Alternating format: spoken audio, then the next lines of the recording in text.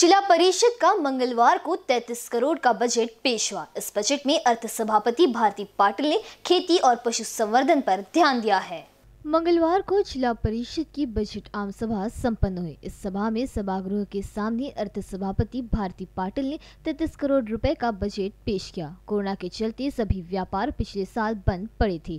ऐसे में इस साल पेश होने वाले बजट पर सभी की निगाहें लगी हुई थी। 2020 और 2021 के बजट शिक्षा, खेती और पशु संवर्धन पर ज़्यादा ध्यान दिया गया। इस बात की जानकारी अर्थ सभापति भारती पाटिल इन्होंने दी। मैं भारती अनिल पाटिल वित्त सभापति जिला परिषद नागपुर। आज 16 तारीख 16 तीन 2021 आज अर्थसंकल्पीय बजट सादर किया हुआ है जिला परिषद में।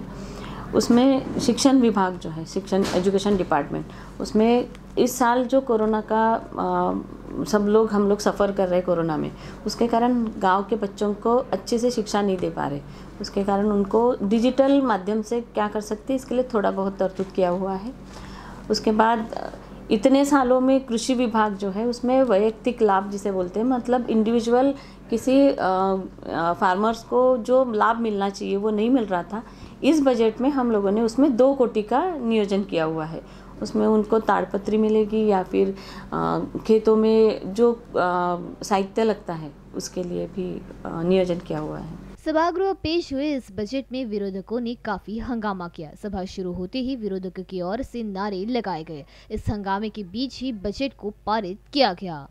या वर्षीचं आपलं बजेट आहे तेहतीस कोटी सदुसष्ट लक्ष नव्वद हजार सहाशे तीन एवढा आपला बजेट मंजूर झालेला आहे. आणि यामध्ये आपण पशुसंवर्धन आणि कृषी या विभागाला आपण जास्तीत जास्त निधी देण्याचा प्रयत्न केलेला आहे. मध्ये सांगण्याचं असं काही नाही आहे हे. विरोधक आपण कितीही सत्ताधिकाऱ्याने कितीही चांगलं काम केलं तरी विरोधकांची ओरड हीच राहते की काहीही चांगलं नाही झालं. पण मला जिल्हा परिषद अध्यक्ष या नात्याने फार समाधान आहे.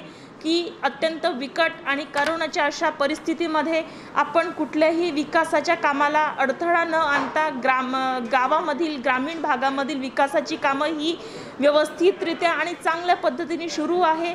यामध्ये शेतकऱ्यांसाठी आता कृषी विभागामध्ये मागे काहीही नियोजन नस नसल्यामुळं आपण सन्माननीय कृषी विभाग आणि पशुसंवर्धन विभाग यासाठी आपण काहीही करू शकलो नाही. पण आता यामध्ये आपण यांचं बजेट वाढून दिलेलं आहे. त्यामुळे आपण किमान शेतकऱ्यांसाठी एक ताडपत्रीसुद्धा आपण त्यांना देऊ शकतो असं या आजच्या या बजेटच्या सभेमध्ये सादर झालेला आहे. कॅमेरा पर्सन राजकुमार मोड़ के साथ अभिषेक पानसे बीसी न्यूज नागपुर.